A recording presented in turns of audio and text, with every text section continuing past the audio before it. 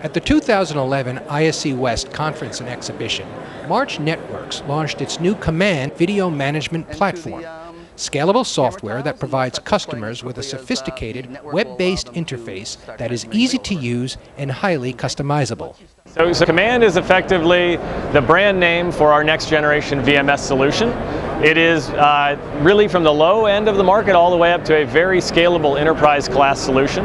So it comes in two releases. There is a, what we call Command Professional, which is a single server up to 128 camera solution.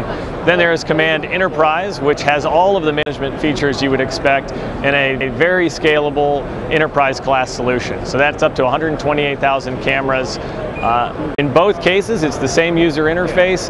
It is ONVIF compliant and very open standards and CIO friendly, uh, which really builds on the heritage that March Networks has had uh, since we launched 10 years ago. So really when we think of the, the key features, we've taken a very different approach, I think, than some of the players in the market. Uh, rather than building many, many features that work for very few customers, we have built the critical features that work for many customers. Now we have been a vertically growth driven company as we went from growing in banking to growing in the uh, to growing in uh, the transportation market and then ultimately growing in the retail market. With our all IP command solution as well as our IP camera portfolio, this is how we're going to be growing truly in the enterprise class commercial industrial space. So we've developed a few key things. One, we think this is the easiest to use, most user-friendly user interface you're going to find out there. Works with a Mac as well as a PC. It's very customizable. It allows you to have different settings depending on who the user is and then really delivers what I think of as the best enterprise class mass configuration as well as mass management of your edge devices. Command Professional is intended um, for single server installations with up to 120 cameras. Um, typically when you go beyond 120 cameras or a single site or single server, we recommend using Command Enterprise. Um, this is the interface for Command Professional. The primary interface for Command Professional and Command Enterprise is a browser-based uh, interface. We also have a Windows-based thick client, but with this um, browser-based interface, as I mentioned, it is um, platform independent and browser independent. So uh, what we're showing here is the application running on both Macintosh and um, Windows uh, PCs. From the browser aspect, we're able to uh, support uh, Internet Explorer, uh, Safari, Firefox, or Google Chrome. What we're showing here right now is uh, specifically Internet Explorer, but on the Mac we're showing um, on uh, the interface running on Safari. Okay. The general anatomy of the two products from an interface perspective um, share a lot of common features. Um, starting with the navigation panel here on the left, you see that you have a, a system panel that you can expand your system resources. So this is a uh, command porting server that I've expanded the resource tree for. So here you see all my pan tilt zoom cameras and fixed cameras. On the right is the default four camera view that comes up. I can simply drag and drop cameras into the um, camera tiles and they'll start displaying as quickly as uh, the network will allow them to start transmitting video over. Okay. Once you start laying out cameras for your interface, um, you may want to, or you may choose to start to collapse a few items that make the screen a little bit busy. Uh, one of the things you can collapse very quickly is the uh, playback controls. Our playback controls are standard VCR type rewind, fast forward playback controls, and what you get here is a time bar indicating where there's recorded video. Now when it comes to handling individual video tiles, we have the ability to um, full screen from right from the tile, Just press escape to uh, minimize, or go ahead and expand the entire camera view. So those buttons you will find in every individual camera tile as well as in the multi-camera interface. If you need information on the video screen about the video streams, um, such as frame rate or bit rates, we can display that very easy from the information button or hide that information. We could also hide the time date information as well if that's not relevant for you.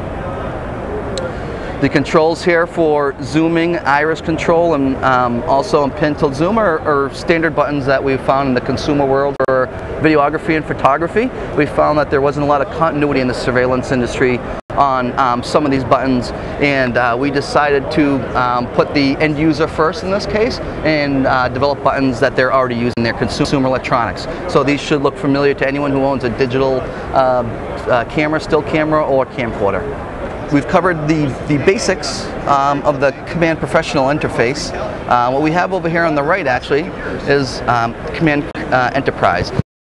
Unique about a Command Enterprise server uh, that is different from a Command Professional server is this logical tree. Okay, this area is uh, the area that you would use uh, for assigning resources to users. So under the logical tree, you'll see that uh, we have icons that represent cameras, um, as well as icons that represent multi-camera views. So in some cases, you may want to give um, security operations folks access to an entire system, but in some cases you may want to limit what they have um, available to them. The, the, user will only have uh, what's available under the logical tree. So if you only want to give them a specific camera or a specific camera view, you have the ability to do that through the logical tree. Okay. Um, one of the things that um, we find very valuable for, for customers is the fact that we've uh, copied the interface um, approach that we find in most traditional browsers where when you want to open up another resource, it does so by opening up an additional tab. So just like Internet Explorer or Firefox um, offer tab browsing, we offer a tabbed interface. So if you want to go to a new resource, it will open up on a new tab so that you can quickly go back to your previous resource. Okay? If you start navigating through a resource tree and you kind of lose track of yourself, we have um, what we call cookie, cookie crumb trail so that you can simply go back to your previous step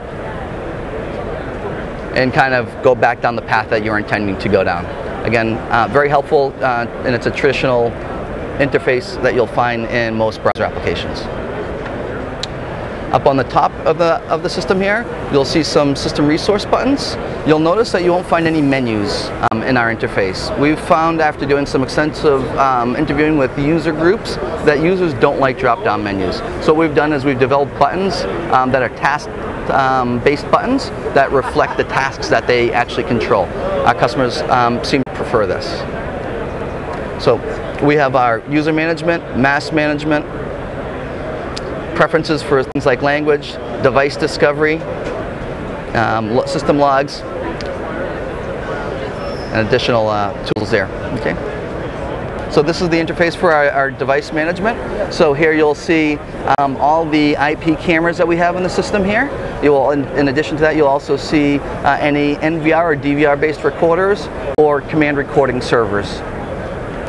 If you want to do any type of system administration, you can navigate to the um, URL for that, or you can simply click on the button here to open the configuration tool for command config. Go ahead and provide my administrative credentials.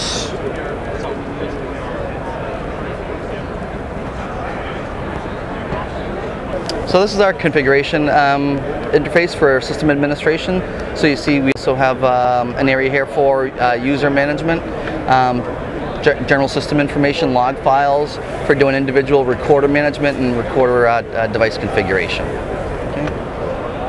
Know, we have made this solution on ONVIF compliant to work with the other players in the industry who are on ONVIF compliant. At the same time, we've recognized the need for direct integration with the key players in the industry. We have taken the approach of taking the top five IP camera companies, top five access control companies, as well as best of breed application companies whether that's license plate recognition, whether that's mass notification uh, for emergency situations, and really started to build a plug-in type application uh, platform where we can bring all of that together with direct integrations and ONVIF where appropriate.